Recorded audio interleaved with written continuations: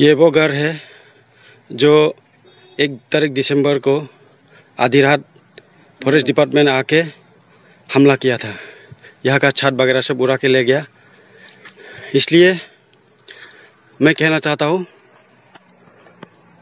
ये एक आदिवासी का, एक ब्रू परिवार का, एक रियांग परिवार का घर फॉरेस्ट डिपार्टमेंट कैसे हाथ भरा सकता है?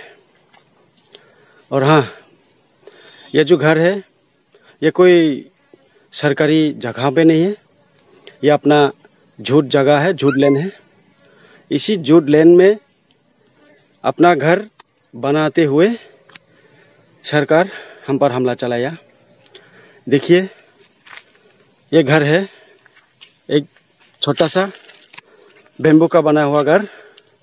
जैसे कि यहाँ एक परिवार का दो तीन आदमी रह सके। इतना बुरी हालात है पहले से। उसमें लिखा नहीं गया त्रिपुरा गवर्नमेंट द्वारा। इसको रात भर हमला चलाया। जो कुछ भी है, सब उड़ा के ले गया।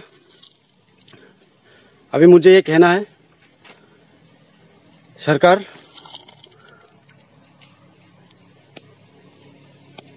आपको अगर एतराज़ है तो ब्रू को क्यों? आखिर क्यों?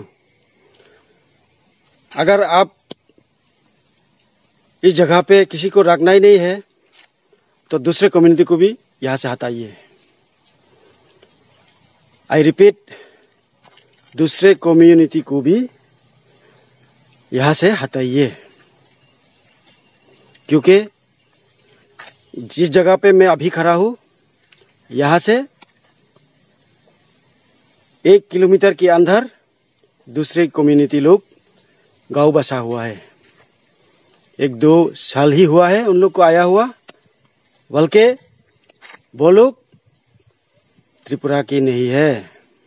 इसका पड़ताल कीजिए। इसका पड़ताल कीजिए। प्रॉपर जाँच कीजिए।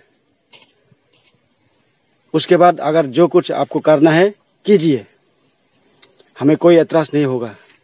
पर वह सब ना करते हुए, कुछ भी ना समझते हुए, एक कम्युनिटी के ऊपर अगर आपने हमला चलाया ना, ये इसका अंजाम बुरा जाएगा।